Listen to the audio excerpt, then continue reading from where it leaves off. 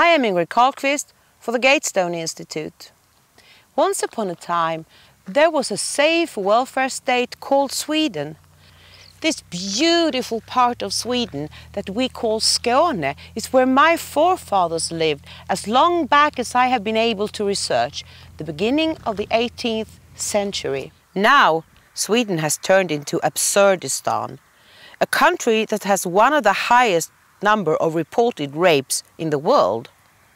Hundreds of so-called exclusion areas, more than 55 no-go zones where police and ambulance get stoned and Sharia law is becoming more important than Swedish law.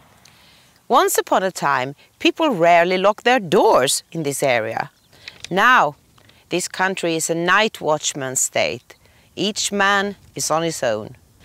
Last year, 163,000 asylum seekers came to Sweden, and even though we have since then introduced border controls, the prognosis is that somewhere between 70,000 and 140,000 will come this year. To a country with a total population of 9.5 million. In November last year, I interviewed salesmen from several security companies. They all said that there is a really high demand for alarm systems right now. One of them said, it is largely due to the turbulence we are seeing around the country. People have lost confidence in the state. The police will not come anymore. One of the things that Swedes are most scared of is rape even though it's forbidden to keep statistics on the rapist's ethnic background or religion. We know who is behind the near 1500% increase of rapes in Sweden. Almost every day we can read in the so-called alternative media about rapes against Swedish women and girls committed by asylum seekers or other migrants from the third world. Up until a few decades ago, no one had heard about gang rape. Now it happens every week.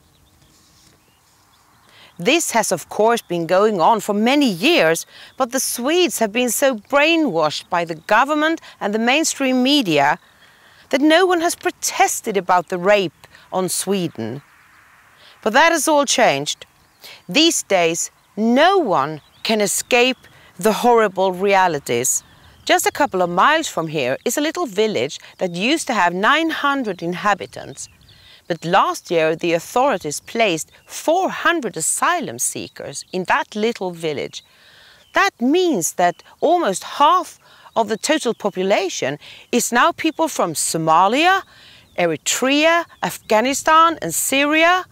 It's really turned the whole village upside down. I have talked to people who live and work around there. At first, they were happy to welcome people to their part of the world. They arranged lunches and Christmas celebrations and donated clothing to the migrants. Now, many of the locals are afraid and confused. With tears in their eyes, they tell me how their friendly village has been totally transformed by these young, aggressive male asylum seekers. The asylum seekers scream at the locals, call the women whores, they steal from the shops and don't seem at all grateful or happy to be here. Many wonder what these asylum seekers expected when they arrived in Sweden. Daily Svenska Dagbladet interviewed Salar from Iraq who complained. We can't sit here and wait for the decision on residence permit indefinitely. We sit at the asylum house all day long and do nothing. Our children have nothing to do. There is no playground here. And the food that is served here is strange. It doesn't at all look like the food we are used to. Salar is not alone. Actually, more people are going back to Iraq now than coming here. This year, 1,243 have applied for asylum and 1,366 have taken the application back. But that is just a drop in the ocean. The people here, they wonder if peace will ever come back to this place. This is Ingrid Carlqvist for the Gatestone Institute.